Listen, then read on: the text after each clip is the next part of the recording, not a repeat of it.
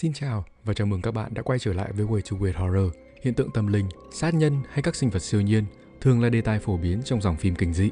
Chúng ta đã quá quen với các vật thể ma ám, ma cà rồng và các tên đồ tể khát máu xuất hiện trong thể loại này mà vô tình bỏ quên một khía cạnh khá đặc sắc nhưng ít được khai thác, khoa học viễn tưởng. Và ngày hôm nay, hãy để Way to Weird mang đến bộ phim kinh dị lấy đề tài thiên văn học Event Horizon để xem nó có đủ chinh phục các bạn không nhé. Cùng tìm hiểu chuyện gì đã xảy ra trong phim thôi nào. Let's go!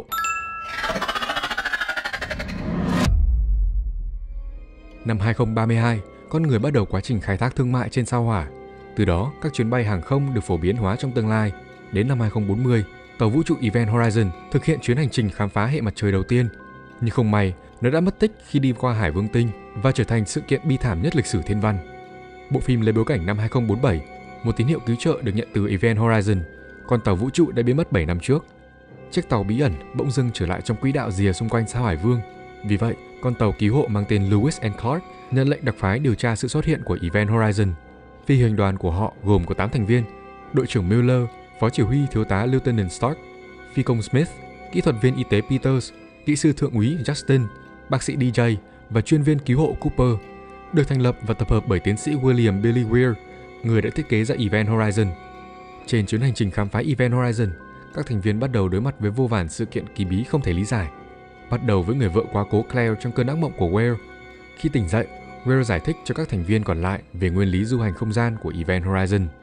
Thay vì bay với tốc độ nhanh hơn cả ánh sáng, một điều hoàn toàn bất khả thi, thì nó đã thực hiện bước nhảy không gian. Will gọi đó là nguyên lý xuyên trường hấp dẫn. Sau đó, anh cũng cho phi hành đoàn nghe đoạn băng thu được từ Event Horizon. Đoạn tín hiệu nhận được từ con tàu là một chuỗi la hét và gào khóc, và bác sĩ DJ nhận ra rằng anh đã nghe thấy cụm từ tiếng Latin Liberate Me có nghĩa thả tôi ra. Khi tiếp cận được tàu Event Horizon, họ đã kết nối hai con tàu với nhau. Phi hành đoàn cũng thành công thâm nhập vào bên trong con tàu gặp nạn. Peters, Cooper và Justin tiến vào Event Horizon. Họ dần phát hiện ra dấu hiệu một vụ thảm sát trong khoang tàu. Trong khi tìm kiếm người sống sót, hệ thống đẩy trọng lực của tàu hay chính là trái tim của con tàu hoạt động và kéo Justin vào một cánh cổng, cắt đứt tín hiệu với tàu gốc và khiến cho một cơn sóng xung kích làm hỏng Lewis and Clark. Justin được Cooper lôi khỏi cánh cổng nhưng rơi vào tình trạng hôn mê.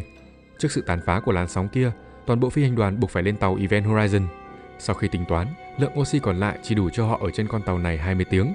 Điều này đồng nghĩa với việc họ phải sửa xong vết rách dài 7 mét trên vỏ tàu Lewis and Clark trong vòng 20 tiếng nếu muốn sống sót. Càng khám phá sâu vào Event Horizon, họ càng chứng kiến vô vàn hiện tượng kinh hoàng.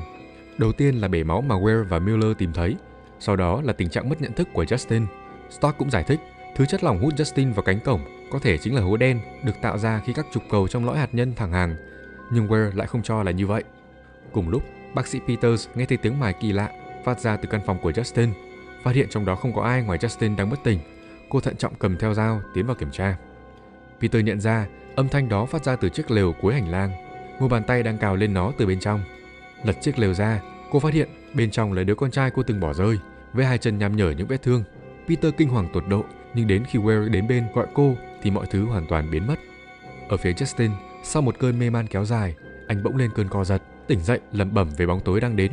Trong lúc này, Ware đang chui vào lõi hạt nhân để sửa chữa hệ thống. Ánh sáng bắt đầu chậm chờn, tiếng thì thầm và hình ảnh Claire lại tiếp tục xuất hiện như trong giấc mơ lúc trước. Chỉ huy Mueller cũng bắt gặp một thi thể bốc cháy đang gọi tên mình. Các thành viên tụ họp lại, tranh luận về các sự kiện kỳ lạ. Họ bất đồng và xảy ra tranh cãi này lửa.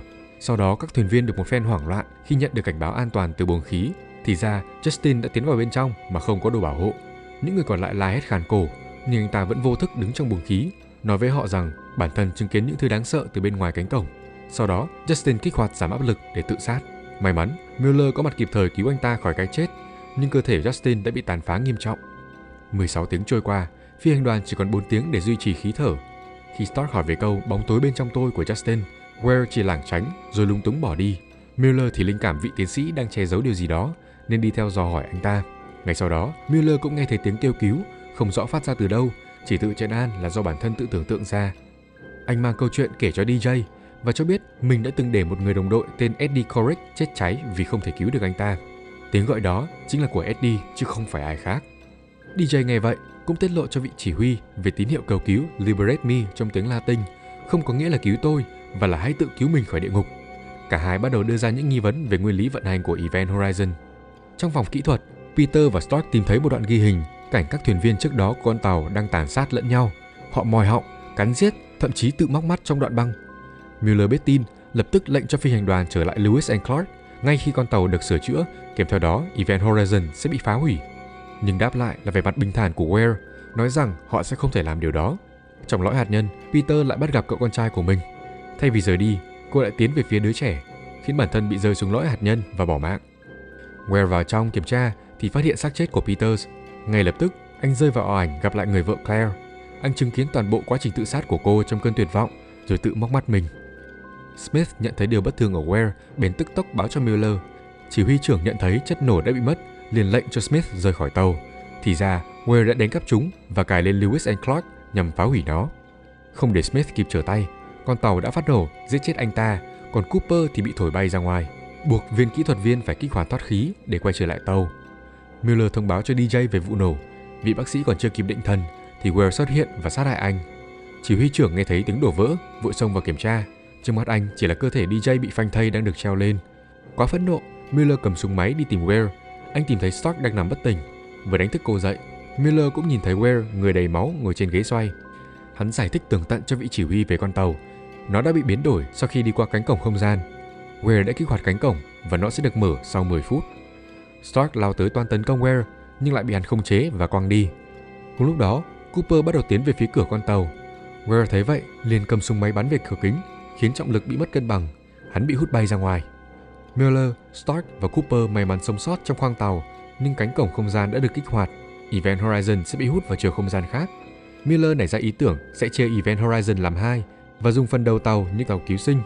Bắt đầu bằng việc cho nổ phần hành lang nối đầu tàu và khoang điều khiển. Mueller đến chỗ đặt lõi hạt nhân để đặt bom, trong khi hai người còn lại đi khởi động tàu cứu sinh.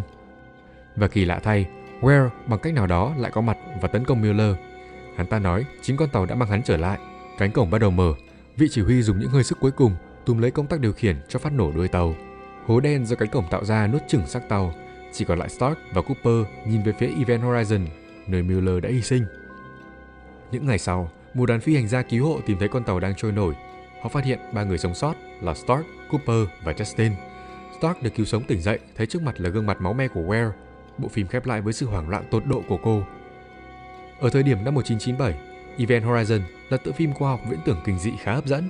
Nó mang đến một bối cảnh sâu thẳm và kỳ bí, nơi mà con người không thể chạm tới, tạo nên một không gian đầy ám ảnh, cùng với việc tạo ra một không khí căng thẳng và rùng rợn như đang bóp nghẹt người xem trong chuỗi tâm lý đen tối của nhân vật.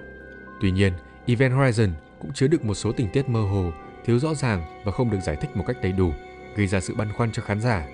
Khi xem xong phim, bản thân mình cũng đặt ra rất nhiều nghi vấn, kể cả khi tìm hiểu vẫn thấy các sự kiện vẫn có nhiều điểm phi logic. Nhưng không thể phủ nhận, Event Horizon đã mang đến sự đổi mới trong thể loại kinh dị những năm 90, khiến thiên văn học cũng trở thành chủ đề hấp dẫn trong dòng phim vốn kén người xem này. Và đó là toàn bộ diễn biến của Event Horizon, một bộ phim sci-fi mang yếu tố kinh dị, dù lộ nhiều điểm yếu nhưng vẫn kịch tính vừa đủ, mang đến trải nghiệm xem phim khác biệt cho fan horror phải không nào? Các bạn nghĩ sao về bộ phim này? Cùng chia sẻ dưới phần bình luận cho Way to Weird biết nhé! Và nếu bạn thích video này, đừng quên để lại một like, share và subscribe ủng hộ chúng mình. Cảm ơn các bạn đã dành thời gian cho video này. Xin chào và hẹn gặp lại. Way to Weird out.